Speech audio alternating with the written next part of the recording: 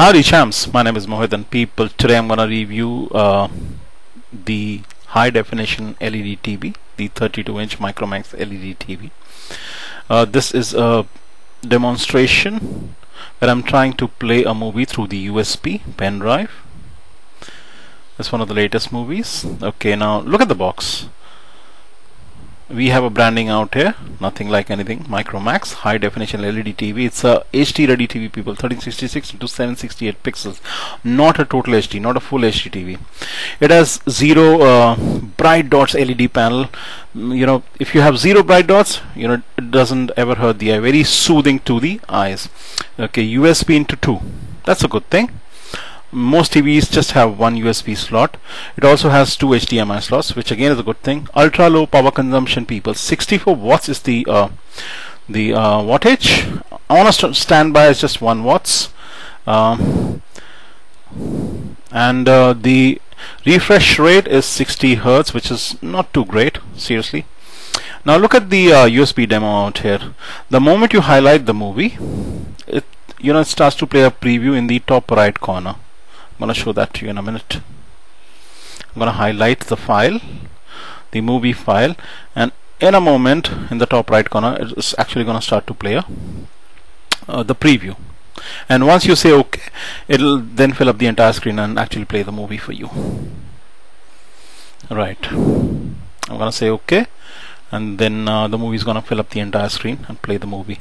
Now uh, I've actually changed my rating after having used the television for the last two weeks from a compulsive buy to an average buy an okay buy. So buy at your own risk at your own peril people. There are there are you know certain uh, um, aberrations that I actually noticed. One of them being uh, unnatural skin tones people. I you know initially I, I did not uh, see it so clearly it was not so evident but uh, over the past two weeks I've actually noticed the skin tones are uh, really not that good. The video is very clear people. But when you look at the skin tones you know I'm not pleased at all. You know I look at my LG which is one and a half years old 26 inches the skin tones are absolutely magnificent.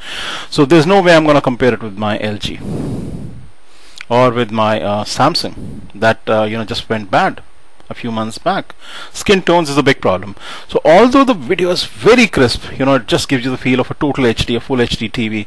Um, but the skin tones, you see, you know, shades of green and uh, yellow on, on, on the faces and uh, you ma makes you feel, I tried all the settings I could, I tried all the color corrections I could. Uh, but I could not set it properly. So I have a feeling that you know there is a reason why you pay 59.99 for something which is uh, 23 24 25 with other brand. There has to be a reason. And the reason is that you know the color display the color um, reproduction is not all that good. M most people can't see that but I can I have a hawk's eye and I, I could notice that. Also if you notice very carefully the the the you know the the panel the LED panel uh, looks cheap. The plastic looks cheap. The, the remote uh, looks uh, quite cheap too. You know the body uh, the build quality this uh, you know they could have done so much better with that.